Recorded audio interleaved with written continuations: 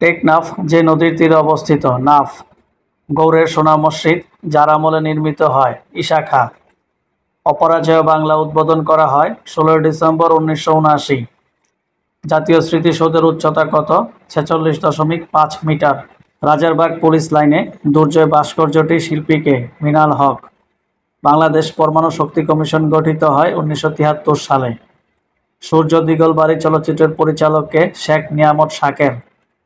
বাংলাদেশে সর্বপ্রথম digital telephone ব্যবস্থা চালু হয় চৌঠা জানুয়ারি উনিশশো নব্বই। মুক্তিযুদ্ধ বিষয়ক মন্ত্রণালয় গঠিত হয় কত সালে? দুই হাজার এক সালে। বেসরকারি বিল কাকে বলে? সংসদ সদস্যদের উত্থাপিত বিল। বাংলাদেশের সুরমা ও কুশিয়ারা নদী মিলিত হয়ে মেঘনা নাম ধারণ করেছে কোথায়? ভৈরব। দিনাজপুর জেলার বড় পুকুরিয়া যে খনিজ প্রকল্পের কাজ চলছে কয়লা পুনর্ববা, নাগর ও টাঙ্গন, যে নদীর উপনদী মহানন্দা। যে পর্যটক সোনারগাঁও এসেছিলেন, তার নাম কি?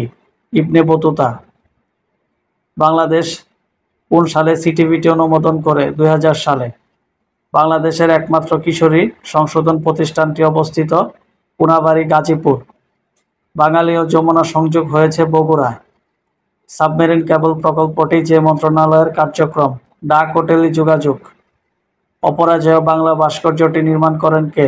সৈয়দ আবদুল্লাহ খালিদ। তেঁতুলিয়া যে জেলায় অবস্থিত, পঞ্চগড়। বাংলাদেশের যে বিজ্ঞানী কলিঙ্গ পুরস্কার লাভ করেন, আবদুল্লাহ আল মতি শরফুদ্দিন। বাংলাদেশ টেলিযোগাযোগ নিয়ন্ত্রণ কমিশন চালু হয় দুই হাজার দুই সালে। ঢাকা বিশ্ববিদ্যালয়ের প্রথম ভাইস চ্যান্সেলর পি জে হার্স যে অর্থমন্ত্রী বাংলাদেশের প্রথম বাজেট ঘোষণা করেন, তাজউদ্দিন আহমেদ। বাংলাদেশের মুক্তিযুদ্ধে জেড ফোর্স ব্রিগেডের প্রধান ছিলেন জিয়াউর রহমান।